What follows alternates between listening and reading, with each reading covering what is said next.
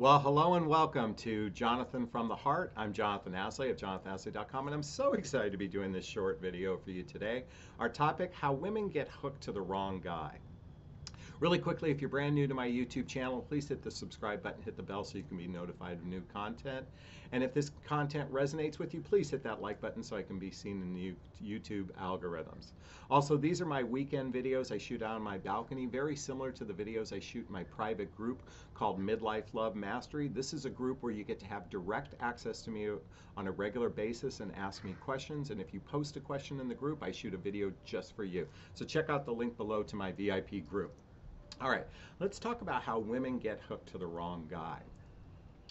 Oh my gosh, this is, seems like it's like probably feels like 80% of my business is centered around women reaching out to me when they're in relationship with someone where there's a lot of friction, a lot of frustration, and ideally my coaching is all about helping teach you how to attract the right guy and how to choose better so uh, there just seems to be an irony there in not irony that's not right um, just a, a frustration on my part because I so want everybody to make better choices. I know for myself, I've, I believe I've learned how to make better choices, and I want to impart that on everyone here. So I want to share with you something that happened to me when uh, I began my dating process after my divorce. And since my audience is predominantly midlife, which is after baby making years and before retirement, there's a big difference in approaching the dating process and actually the choosing process. And let me repeat that the choosing process. And what I mean by choosing is in midlife, we're dealing with predominantly about 75% of singles who are looking for love or looking for connection or looking for a hookup or whatnot are divorced. And because going through a divorce is a very emotionally traumatic, tra- traumatic and traumatic event, uh, it's a lot different than dating in your 20s and 30s. For those who are in their 20s and 30s dating, they're almost like a blank sheet of paper. Their life hasn't been formed yet. And yet, when you get into your 40s, 50s, and even 60s, you become a fully functional adult with a full life. Um, and in some cases, oftentimes that life comes with a lot of baggage. Now, I want to differentiate baggage from luggage, and baggage is all the emotional drama and trauma and experiences that cause a very heavy weighted person emotionally versus luggage is your daily things whether you have children whether you have a demanding job that's all part of your luggage but i'm talking baggage is the emotional trauma that people bring to the relationship and why women get hooked to the, to the wrong guy is they often bond through this drama, this trauma. It's called trauma bonding, and I call it false intimacy. So let me share with you a personal story. And this was right after my divorce. I and I'm, I'm what I'm about to share was completely unconscious on my part. I wasn't consciously doing this in the dating process. But what was interesting I would often, when I'm dating a woman, or, or you know, whether it's a first or second or third date, begin to start explaining all the problems, all the drama, all the trauma in my life, whether it was my divorce and the contentiousness of the divorce, or what was happening in my professional life. And I was just literally spewing all this drama and trauma. And what was fascinating to me I, I say this looking back. At the time, I didn't think this, but as I looked back, so many women would get hooked. I mean, I'm literally pulling out the hook. They would get hooked to it because they felt like it was intimacy. They felt like it was a bonding experience because I was expressing all my problems, all my dysfunctionality, all my frustrations and pain.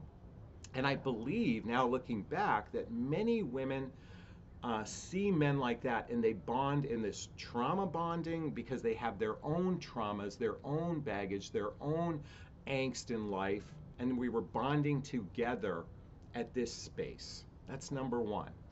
And what I found later on down the road as I witnessed women is women, you women, ladies, are beautiful creatures. You're nurturing, you're loving, you're kind, you're so supportive.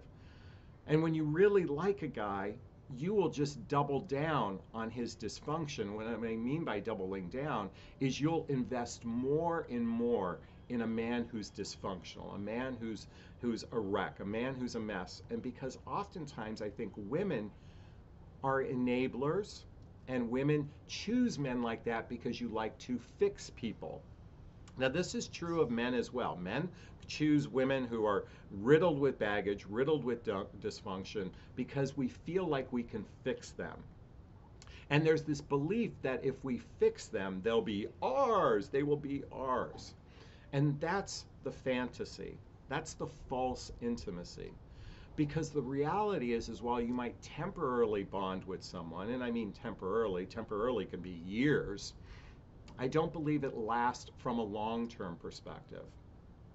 You know it's interesting. I got a letter in the mail recently and i'm, I'm sharing something that came in where uh, a woman was in a relationship with a man and he shared a lot of his childhood trauma which included sexual abuse and sexual trauma. And because she also had abuse and trauma in her life, she bonded very quickly with this man. And they literally lived in their trauma bonding. They lived in this area. And there's this belief that there's this is true intimacy.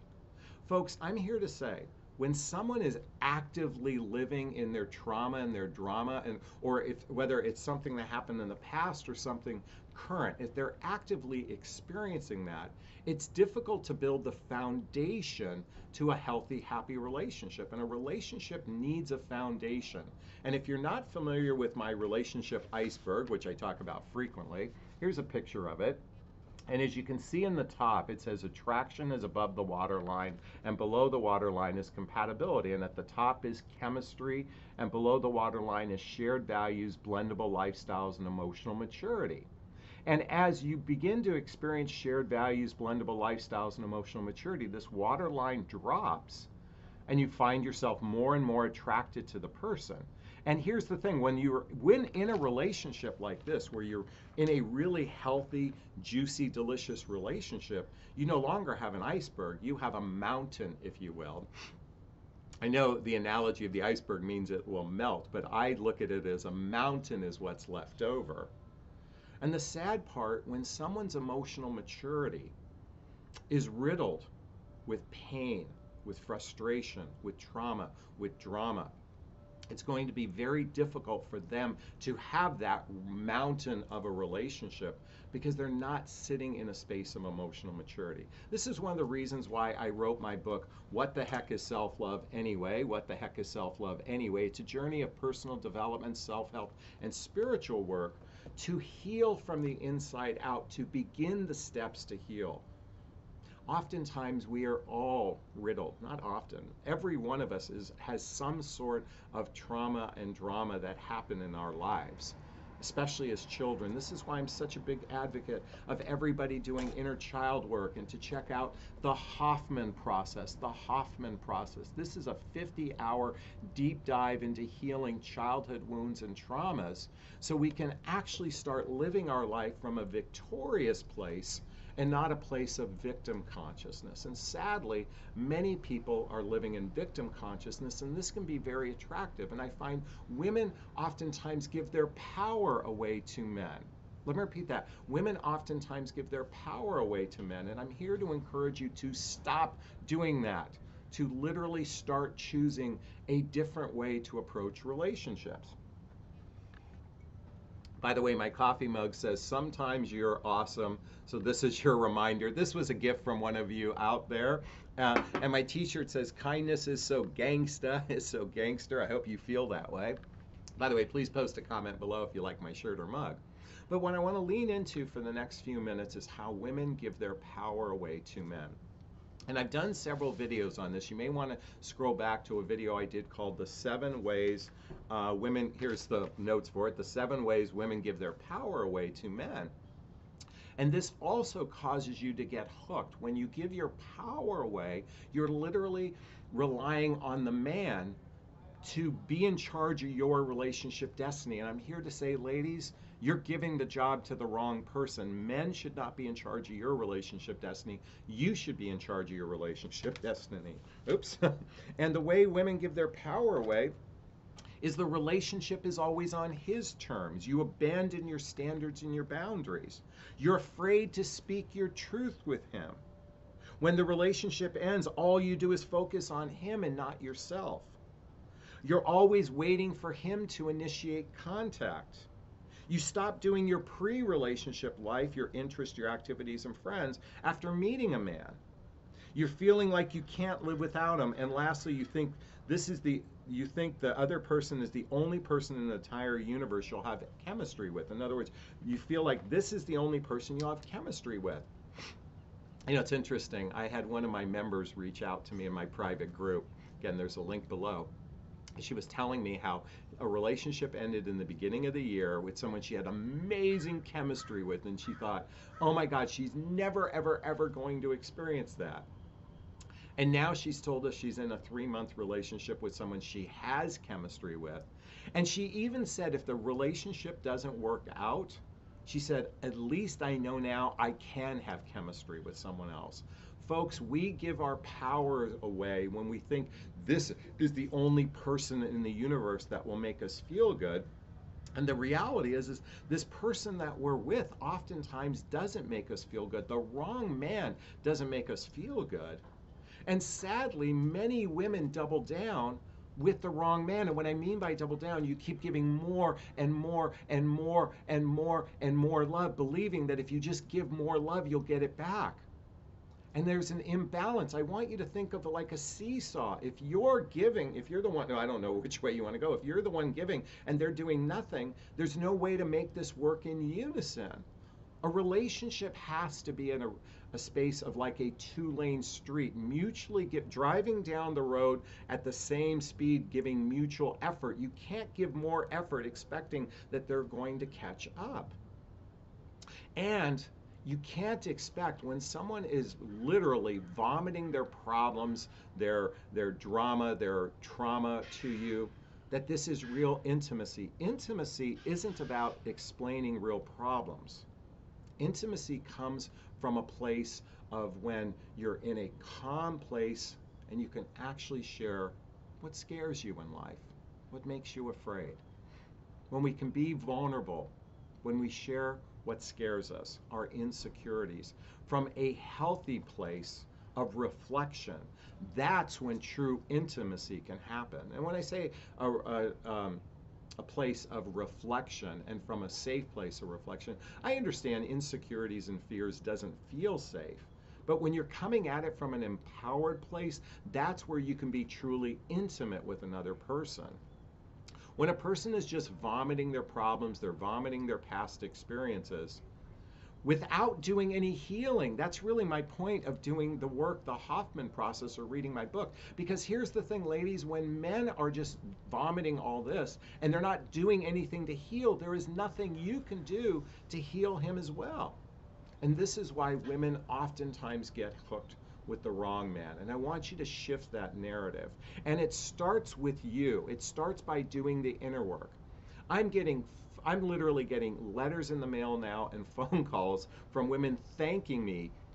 Literally, I got a call last night, late at night, and I, I picked up my phone on my business line. A woman just wanted to share with me how she bought two copies of my book, one for herself, one for her friend. And she said her friend said, This is making a difference in my life and this my book wasn't as the book what the heck is self-love anyway had nothing to do with dating and relationships. I mean a little bit it does but uh, it was is really designed so we can come from a place of empowerment. So when we come across across those people that are really hurting it's okay to give them love. It's absolutely okay to give someone love who's hurting.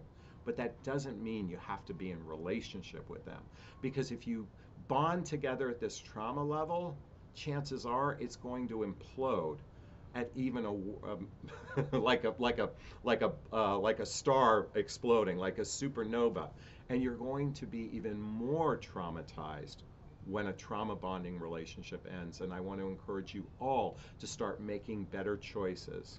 And it starts by recognizing that chemistry hooks us in the beginning but what really creates a safe re- relationship is when you share the same values, your lifestyles are blendable, and they have emotional maturity. And if you need some help recognizing emotional maturity, uh, check out one of my older videos called The Five Signs, The Five Signs for Emotional Maturity, and that'll help you get started on your way. All right, this is just my uh, weekend riff here, uh, just sharing from the heart. I want everybody, like I've said to you on before on a lot of videos, if I could be your big brother there on your first date with the shotgun, and I could point it at the guy and say, What are your real intentions? And I could interview him for you, I would do that. My goal is for you to interview him for yourself. And remember, when you ask better questions in the beginning and listen to how they respond, you can make better choices for yourself. And that's my invitation for everyone. All right, I'd like to hear your thoughts on this. Please post a comment below if this resonated with you. If there's something you'd like to add, I read all the comments. I do my best to respond to some. As always, if you find value in this, please share this with your friends. Give that thumbs up like button. And I'm going to wrap up this video as I always do. First off, giving myself a big, gigantic Jonathon Bear hug of self-love. I'm going to reach into the camera and give you a hug of love if that's okay. I'm going to ask you to turn to someone, a pet, a teddy bear, or pillow, and give it or them a hug of love because hugs are a great source of love. And let's face it, we could all use more love in our lives. Thanks a bunch. Bye-bye now.